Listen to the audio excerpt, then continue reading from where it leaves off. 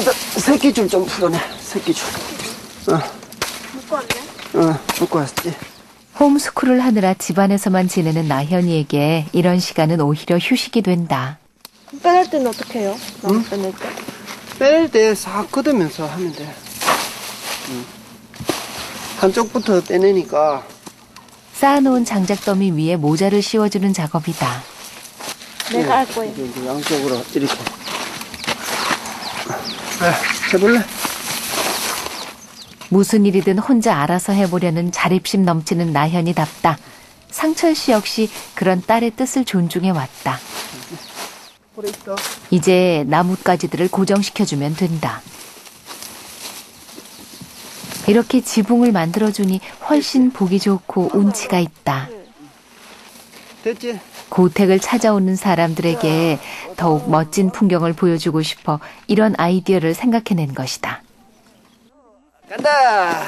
애썼다고 보너스도 준다. 이거 운전해 운전. 다리는 왜저 직진 지금밖에 없어요 여기는. 직진 세게 간다. 부녀의 행복한 한때가 이렇게 흘러간다.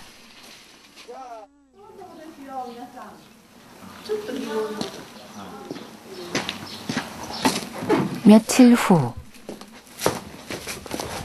상철 씨가 김치통을 몇 개씩이나 들고 분주히 차에 싣기 시작한다. 어, 갔어? 아니야 아니 또 가방에 여놓고 또 없다 하는 거 아니야 또? 가방 속을 샅샅이 뒤지기 시작하는데 찾는 물건은 꼭꼭 숨어라다. 계시는데? 영양 가서 가지고 올 거 그 목록 적어놓은 건데. 자신의 기억력을 못 믿어 메모를 했는데 또 그걸 잃어버린 것. 아까 뭐 나인이 그 책상에서 뭐 쓰고 있는 것 같던데. 나님아 찾았다. 아유 이거 봐라 이거 이거 그 이어 떨어져갖고 뭐. 그 요즘 들어 자꾸 이런 일이 생긴다. 한번 대제봐 만나. 아유 이거 가방 챙겨라. 이때를 놓치지 않고 상철 씨가 한마디 한다. 아이 그래 살림을 어떻게 해 하면. 아, 알았어 알았어. 가자 가자. 아이 살림 좀 진짜. 아, 아, 아, 쪽지 하나 때문에 살림 솜씨 운운하는 무안을 당한 정희 씨의 반격. 주부 사태에서 내푼다. 이 한마디에 쥐죽은 듯 조용해진다.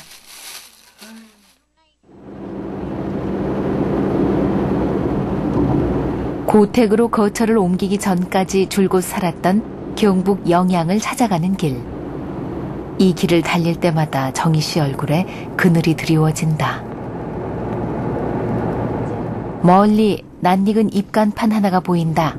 야, 잠깐 나는 뭐 간판 보고 갈까? 어? 이야, 지금 간판이 몇 년 됐냐? 연도가 있나? 이게 언제 언제적? 감회가 새롭다. 참 오래됐다. 10년도 훨씬 더 된 입간판이다. 아니 나 이거 벌써 철거된 줄 알았더니 말도 안 돼. 이게 이게 이제 그거잖아. 어, 의욕에 차 장목반을 만들고 고추 농사를 지었던 상철 씨. 자주 다니면서도 별로 못 본 것 같은데. 봄볕이 나면은 그냥 무심코 별로, 봤는데 이게 아직까지 어, 있다는 건 느끼지가 않네. 그래요. 꽤 많이 하셨네. 어, 농사도 많이 지었죠. 그때 이제 다섯 농가인가 뭐 그래가지고 시작했는 건데 이게 전국에서 고추는 최입니다. 전국에서 고추 분야가. 처음인데 잘 고추로 농산물 품질 인증제를 받은 건 전국 최초였단다. 그러나 고추값을 떼이면서 빚은 늘어만 갔고 이제 모든 건 쓸쓸한 추억거리로 남았다. 그러네. 저기 트랙터 한번 보세요, 트랙터. 예. 입양 보낸 자식을 만난 듯 반가우면서도 가슴이 아려온다. 어이구.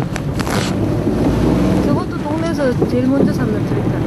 아, 저 트랙터는 뭔데요? 저게 영양군에서 몇 번째 샀는 트랙터, 영양군에서. 그러니까 저게 트랙터 살 때가 아마 17, 7년 전인가 그쯤 될 거예요. 그러니까 그해 영양군 트랙터 4대 나올 때 샀으니까 그 전에도 좀 딴 분들 사긴 샀지만 진짜 역사가 오래된 트랙터예요. 그 제가 뭐 한때는 트랙터 김이었어요. 트랙터 김. 아, 참 오래됐다. 이게 아빠가 사용했던 트랙터. 네, 지금은 이제 다른 사람한테 이제 팔았.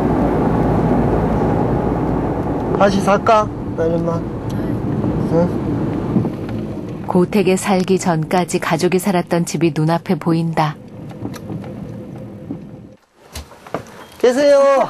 안녕하세요. 아이고 나무 집에 찾아왔습니다.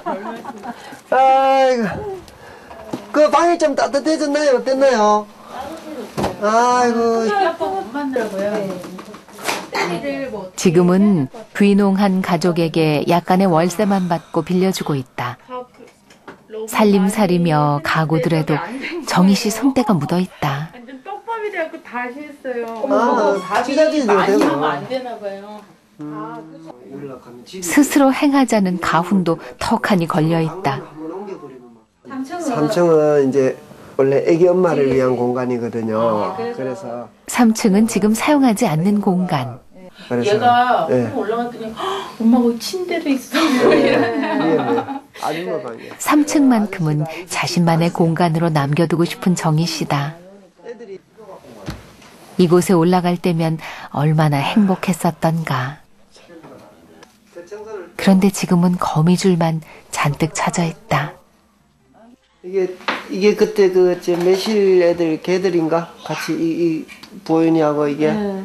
우리 매실 그 같이 다 같이 심는 날 맞아. 애들 지용이 아. 보윤이 저기 하나 또 떨어져. 이곳에서 농사 지으며 매실 체험 농장을 운영했던 시절 그때 다녀간 아이들이 남겨놓은 흔적들이다. 예.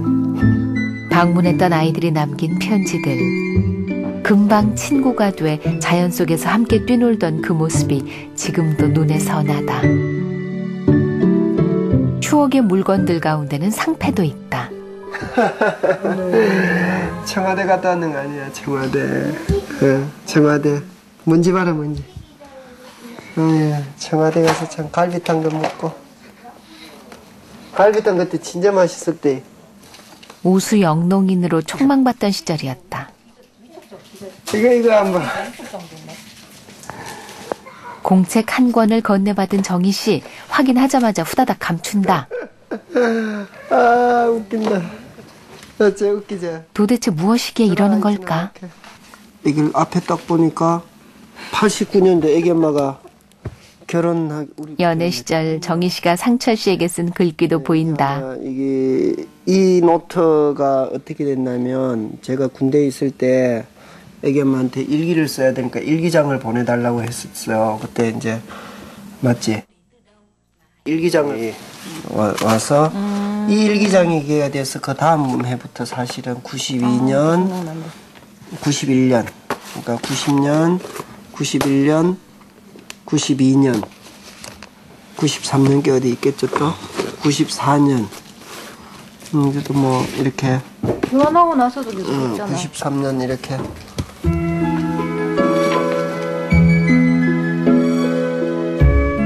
정희 씨 역시 꾸준히 가계부를 써왔다. 이 집 역시 그런 알뜰함으로 장만한 집이었다. 하지만 빚 때문에 형편이 어려워지면서 힘겨운 일들도 겪어야 했다. 우리 통장에는 그때 마이너스 제로. 그러니까 애가 이제 령이가 태어난 지 얼마 안 됐는데 그만해 좀 우유값이 없는 거예요. 그래서 어, 집을 이제 뒤져보니까 아 됐어 그만 애들 돈 많은 게 있더라고 동전. 이제 그거 털어가지고 우유 사주고. 그렇게 살았어요. 아 나나 보니까 이 집은 뭐예요 이거? 어느 거? 빛바른 서류를 발견한 정희 씨. 아 이거 그거잖아. 에이 저거 보지 마. 아니 보지 말라 보겠다. 신랑이가 이어진다. 그거잖아 뭐 하면 12년이 다 됐네. 고춧가. 영덕 법원에서 왔던 거